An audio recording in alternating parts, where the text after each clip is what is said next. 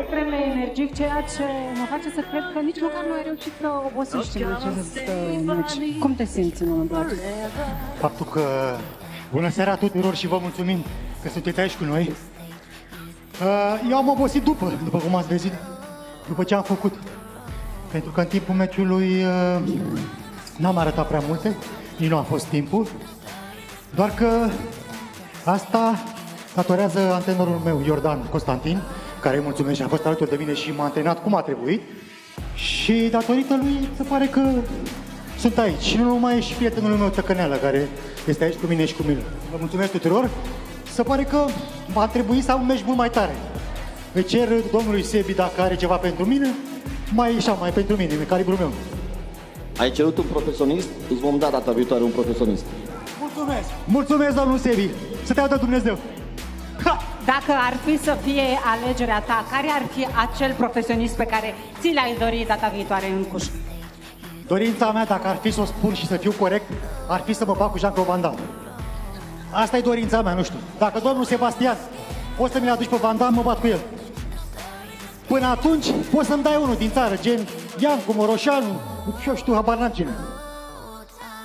Ce părere ai despre faptul că al tău uh, oponent a renunțat atât de repede? Pentru că a fost, uh, a fost foarte rapid uh, această cedare a lui.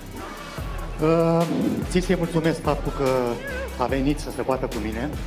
S-a angrenat cum ar veni să spargă un stâlp cu mâna și nu se poate, doar cu țeava sau cu picamărul.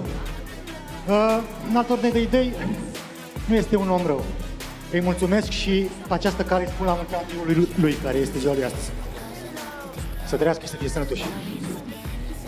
Îți dorești, uh, îți dorești să urmeze și alte meciuri uh, în Cușcă?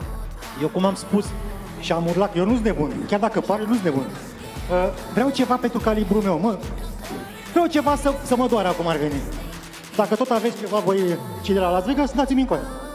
Uite, haide să aruncăm uh, mănușa către cineva. Provoacă pe cineva acum. Pe cine consideri tu? Ai spus pe Moroșanu, ai spus mai... Provoacă pe cineva. Jean-Claude Van Damme, dacă mă auzi, come on, în Romania, come here. Eu am ce am cu Van Damme, nu știu de ce. Ok, aici ai cu Van Damme, dar noi vrem să... către cineva din România vrem să arunce. Cineva din România, atunci să vină, foaie verde și o la alea, Iancu este viața mea. Iancu, ai primit, uh, ai primit aici uh, invitația la luptă alături de Fakiru, care a fost câștigătorul celui de-al uh, patrulea meci din gala Eric Sev. Acum, uh, dragii noștri, merg către colegii mei, Lavinia și Ionuț.